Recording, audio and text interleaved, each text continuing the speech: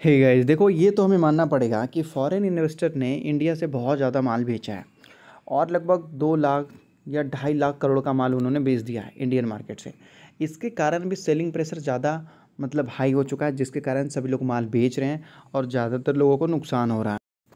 तो यहाँ पर क्या होता है कि जब माल बेचा जाता है, किसी भी कंपनी से पैसा निकाला जाता है तो उस कंपनी का डिमांड कम हो जाता है वैल्यू भी कम हो जाता। है सपोज़ मान लीजिए कि किसी ने आपके दुकान से कोई सामान खरीदा और आपको रिटर्न कर देता है तो भाई ज़रूर कोई ना, कुछ ना कुछ प्रॉब्लम होगा।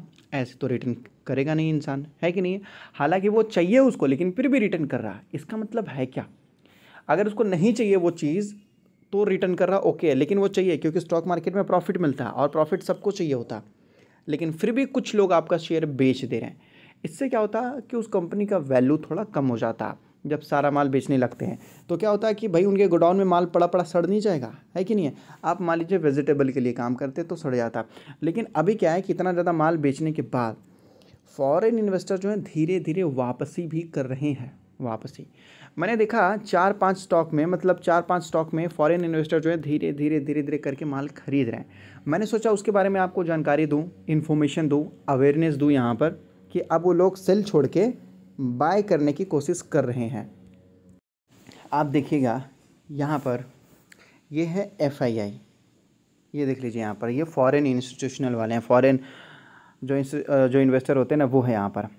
तो यहाँ पर उनका बताया जा रहा है कि भाई इनके पास जो टॉप होल्डिंग है ना टॉप होल्डिंग जो ये सुपरस्टार लोग हैं, क्योंकि देखो ये सुपरस्टार इस वजह से हैं, क्योंकि इनका जो पोर्टफोलियो होता है ना, वो बहुत बड़ा होता है, बहुत बड़ा का मतलब दो हज़ार करोड़, पाँच हज़ार करोड़, दस हज़ार करोड़, बीस हज़ार करोड़, पचास हज़ार करोड़ मतलब ये बड़े प्लेयर हैं। ये मार्केट की रुख को बदल सकते हैं। मार्केट में जो हवा चलता है ना, उसको ये बदल सकते हैं। गर्म हवा को ठंडा और ठंडा हवा को गर्म कर सकते हैं। इस वजह से इनको सुपरस्टार बोला जाता है। और यही जो टॉप सुपरस्टार्स होल्डिंग बताया जा रहा है किन का है? ऊपर में देखेगा तो ये फॉरेन वाले का है। हम यहाँ पर ना ही इंडिविजुअल का देख रहे हैं, ना ही इंस्टीट्यूशनल का देख रहे हैं, हम फॉरेन वाले को देख रहे हैं। सबसे पहला स्टॉक जहाँ पर सबसे ज़्यादा इन्होंने इन्वेस्टमेंट किया है, अभी अभी धीरे धीरे माल खरीद रहे हैं। पौनी सुगर से आपको बताया जा रहा है, जिसमें 9.4 परसेंट ये धीरे धीरे अपनी हिस्सेदारी बढ़ा रहे हैं। अब इस कंपनी के बारे में जान लेते हैं पौनी सुगर के बारे में पहले। तो ये है, लंबे समय में इसने 2700 परसेंट का रिटर्न दे रखा है। पिछले छः महीने से ये स्टॉक अप एंड डाउन है, लेकिन गिरा नहीं है। एक साल का डेटा देख लेते हैं तो एक साल से ये स्टॉक ठीक है ओके है। नुकसान तो नहीं दिया, लेकिन हाँ फिर भी अगर हम ऑल टाइम हाई से देखते हैं तो ऑल टाइम हाई से ये स्टॉक थर्टी फाइव परसेंट या फोर्टी परसेंट तो गिरा हुआ है। अब ये स्टॉक्स में धीरे धीरे जो है फॉरेन इन्वेस्टर माल खरीद रहे हैं। यहाँ पर देखिएगा ऑल टाइम में देखिएगा तो ये स्टॉक का ना एक मूवमेंट है। जब भी ऊपर जाता है और गिरता है तो फिर बहुत तेज़ भागता है। फिर ऊपर से नीचे आता है, फिर तेज़ भागता है। फिर ऊपर से नीचे आएगा, फिर कभी कभी तेज़ भागता है। सेम स्ट्रेटेजी यहाँ पर भी आपको देखने को मिला, देख सकते हैं, तेज़ भागा। अब यहाँ से फिर ये स्टॉक तेज़ भागने के फिराक में होगा टेक्निकली चार्ट पैटर्न बताता है यहाँ पर। ऐसे कंपनी में इन्होंने इन्वेस्ट किया है कि हमने कभी सोचा भी नहीं होगा। कंपनी का मार्केट कैप देखिए 194 करोड़ का। इतना छोटा सा कंपनी में कौन इन्वेस्टमेंट करता है भाई, बताइए। इतना छोटा मतलब बहुत छोटा है। आप रिलायंस खरीदते हो मतलब पता है क्या है? क्या खरीद रहे हो आप? क्या चीज़ है वो? बीस लाख करोड़ का मार्केट कैप वाला कंपनी है। आप उस कंपनी में इन्वेस्ट कर रहे हो। बीस लाख करोड़, और भाई, दो सौ करोड़ में फ़र्क नहीं होता क्या? अब लाख करोड़ नहीं समझ में आ रहा तो मैं आपको सिंपल सा बता देता हूँ। बीस लाख रुपए का शेयर मान लेते हैं, बीस लाख रुपए की कंपनी है रिलायंस इंडस्ट्री और ये केवल दो सौ रुपये की कंपनी है, आप इतना समझ सकते हो। तो भाई, बीस लाख रुपए, और दो सौ रुपये में फ़र्क होता है ना? फॉरेन वाले ने ऐसे कंपनी में इन्वेस्टमेंट किया है, यहाँ पर और देखिएगा। भाई बुक वैल्यू जो यहाँ पर आपको बताया जा रहा है फोर ट्वेंटी नाइन है। करेंट प्राइस से मतलब बहुत नीचे मिला यही चीज़ होता है कि जो बड़े बड़े इन्वेस्टर होते हैं, वो ध्यान से देखते हैं। Book value four twenty nine का है करेंट प्राइस केवल टू ट्वेंटी फाइव का है, और भाई उससे ज़्यादा तो कंपनी डिविडेंट ही दे देती है one point seven eight percent तो ऐसे कंपनी में वो इन्वेस्ट करते हैं। और बताने के लिए तो बहुत सारी चीज़ें हैं। देखिए शुगर के लिए कंपनी काम करती है। Eighty six percent revenue sugar से आता है, फोर्टीन परसेंट रेवेन्यू इनका जो है पावर से आता है। इथेनॉल के लिए भी बहुत ज़ोर शोर से काम कर रहे हैं। मैंने आपको बताया ना फॉरेन इन्वेस्टर ने अगर कहीं पे हाथ डाला है ना तो याद रखिए कि फॉरेन इन्वेस्टर एक बहुत बड़े प्लेयर होते हैं ना, वो मतलब फालतू चीज़ों में कभी हाथ लगाते ही नहीं है। फालतू चीज़ों का मतलब ये नहीं है कि सस्ती चीज़ें, ऐसा नहीं होता। वो ना मतलब अच्छे अच्छे चीज़ों में कम, ये लगाते हैं। देखिए मतलब पैसा लगाते हैं। डेट फ्री कंपनी काफ़ी अच्छा कंपनी ने इन्वेस्टमेंट भी कर रखा है वन फिफ्टी वन करोड़ का। हमने ये देख लिया, पोनी। अब हम देखेंगे स्पंदना। अब यहाँ पर इन्होंने 8.8 परसेंट तक का इन्वेस्टमेंट करना स्टार्ट कर दिया। मतलब इन्वेस्टमेंट मतलब ख़रीदारी करना स्टार्ट कर दिया। हम वही चीज़ देख रहे हैं। देख लीजिए फ़र्स्ट हमने ये देखा था, आप सेकेंड हम ये देखेंगे। स्पंदना एक फाइनेंस सेक्टर की कंपनी है, जैसे कि बजाज फाइनेंस है, और ये थ्री ट्वेंटी रुपीज़ में मिल रहा है। हालाँकि ये स्टॉक सिक्सटी परसेंट गिरा हुआ है। और अगर आप सही तरीके से देखेंगे ऊपर से तो ये सेवेंटी सिक्स परसेंट ये स्टॉक गिरा हुआ है। इसके पास लगभग सिक्सटी परसेंट हिस्सेदारी प्रमोटर्स के पास है। कुछ थर्टीन परसेंट के आजू बाजू इन्होंने प्लेज भी कर रखा है। कंपनी फाइनेंस सेक्टर में काम कर रही है तो ये कंपनी में भी उन्होंने बड़ा पैसा लगाया है। इस कंपनी का market cap two thousand crore का है तो ये छोटी कंपनी नहीं है। लेकिन हाँ ये कंपनी जो है ओके ओके थोड़ी बड़ी कंपनी है। लोगों ने काफ़ी अच्छा डिलीवरी भी उठाया है। अब हम तीसरा देखेंगे सेलिब्रिटी फ़ैशन लिमिटेड ये देख सकते हैं, इसमें सिक्स पॉइंट एट परसेंट हिस्सेदारी खरीदा जा रहा है। कंपनी अगर आप देख लोगे ना तो डर जाओगे थोड़ा सा। भाई, ये कंपनी है, समझ में नहीं आ रहा नाइन्टी परसेंट से ज़्यादा गिरा हुआ है ये।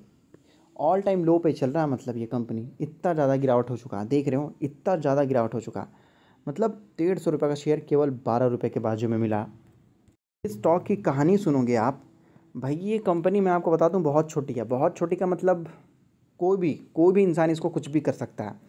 सबसे पहले इस चीज़ मैं आपको बता दूँ, ये कंपनी टेक्सटाइल सेक्टर में काम करती है टेक्सटाइल में काम करती है। प्रमोटर्स के पास यहाँ पर देखिएगा तो थर्टी एट परसेंट है। फॉरेन वालों के पास देखिएगा तो पहले इनके पास नाइन परसेंट थे। इस क्वार्टर में, एक मिनट, सही तरीके से दिखाता हूँ, मार्च में। मार्च में प्रमोटर्स ने देखिए यहाँ पर अपनी हिस्सेदारी बढ़ाई है और इसको सिक्सटीन परसेंट कर लिया गया है पिछले क्वार्टर के मुकाबले, अगर आप देखोगे तो। तो प्रमोटर्स ने ओके है, लेकिन यहाँ पर फॉरेन वालों ने अपनी हिस्सेदारी बढ़ा लिया, फॉरेन वाले। पहले पब्लिक के पास फोर्टी एट परसेंट माल हुआ करता था, इस क्वार्टर में इनके पास केवल फोर्टी फोर परसेंट है मतलब पब्लिक से माल खरीदा जा रहा है, ना कि बेचा गया है। और ये स्टॉक लास्ट वर्किंग डे में भी गिरा है। याद रखिए टेक्सटाइल सेक्टर के लिए कंपनी काम करती है और सिक्सटी थ्री करोड़ का मार्केट कैप है। भाई, ये कंपनी कंपनी नहीं है। सिक्सटी थ्री करोड़ मतलब ये ये कंपनी आपका पैसा पाँच हज़ार गुना भी कर सकती है और ये कंपनी आपका पैसा ज़ीरो भी कर सकती है। ये एक ऐसा खेल है जहाँ पर या तो जीत जाना है या तो पूरी तरीके से हार जाना है। बचने का कोई चांस नहीं है यहाँ पर। ये ऐसे स्टॉक्स में ये लोग पैसा लगा रहे हैं। और मैं आपको बता दूँ, इस कंपनी के पास सिक्सटी थ्री करोड़ का मार्केट कैप है और कंपनी के पास डेट अगर आप देख लोगे कंपनी के पास डेट तो भाई इनके पास डेट ही ज़्यादा है। डेट जो कि आपको बताया जा रहा है सेवेंटी एट करोड़ का है। देख लीजिए सेवेंटी एट करोड़ का। और इसका कंपनी का मार्केट कैप देखिए तो कितना का है? तो सिक्सटी थ्री करोड़ का है। बहुत बड़ा डिफरेंस यहाँ पर आपको देखने को मिल रहा है। इतने छोटे कंपनी में इन्वेस्टमेंट करने का मतलब क्या फ़ायदा है या फिर क्या पर्पस है फॉरेन इन्वेस्टर का, नहीं पता। लेकिन देखिए, मैं आपको ख़रीदने के लिए नहीं बोल रहा हूँ। जानकारी बिल्कुल गलत मैं आपको नहीं दूँगा। मैंने थंबनेल पर लिख रखा है कि फ़ॉरन वाले कहाँ इन्वेस्ट कर रहे हैं, वो मैं आपको बता रहा हूँ। याद रखिएगा। रतन टाटा जी ने किसी, अगर मान लेते हैं पाँच हज़ार करोड़ की कंपनी को अगर उसने खरीद लिया, इसका मतलब ये नहीं है, मैंने आपको बताया तो आपको भी पाँच हज़ार करोड़ की कंपनी को खरीदना है। भाई मान लेते हैं किसी ने किसी ने बहुत बड़ा मतलब मान लेते हैं उसने बहुत बड़ा बिल्डिंग खड़ा कर लिया। मान लेते हैं पाँच सौ करोड़ में एक बिल्डिंग खड़ा कर लिया तो क्या आप भी खड़ा कर सकते हो? नहीं। भाई जानकारी लेना अलग चीज़ होता है और करके दिखाना अलग चीज़ होता है जो हमें नहीं करना। और उसके बाद यहाँ पर देख सकते हैं वोल्टम्प आपको बताया जा रहा है। फिर उसके बाद आहलूवालिया कॉन्टैक्ट के बारे में मैंने आपको कई बार वीडियो बना बना के बताया है। बताया कि नहीं, बिल्कुल मैंने आपको बताया है। और यहाँ पर जो फॉरेन इन्वेस्टर हैं, वो कितना माल खरीदे हैं, यहाँ पर इन्होंने फाइव पॉइंट सेवन परसेंट के बाजू में इन्होंने खरीदा है। देखो आहलूवालिया कॉन्टैक्ट के ऊपर मैंने बहुत बहुत सारे वीडियो बनाए हैं। अच्छा स्टॉक है, मैं सपोर्ट करूँगा इसको। और ये अभी थोड़ा बहुत गिर रहा है, लेकिन मैं आपको बोलूँगा, ठीक है। पिछले एक साल में भी इसने काफ़ी अच्छा रिटर्न दिया, लेकिन देखो, ये अपने कंसोलिडेट लेवल के बाजू में ही आ चुका है। देखिए कंसोलिडेट लेवल के बाजू में ही आ चुका हालाँकि भागने की कोशिश किया था तो ये स्टॉक ओके है। और अगर आप अपना स्टॉक मार्केट में डीमेट अकाउंट ओपन करना चाहते हैं स्टॉक मार्केट में आप नए हैं तो आप अपना डीमेट अकाउंट एंजल में ओपन कर सकते हो, जहाँ पर आपका डीमेट अकाउंट बिल्कुल फ्री डिलीवरी चार्जेस फ्री केवल ट्वेंटी रुपीज़ लगता है, वो भी इंट्राडे में। डिस्क्रिप्शन में लिंक है, मिनटों में जाकर अपना डीमेट अकाउंट वगैरह ओपन कर सकते हैं।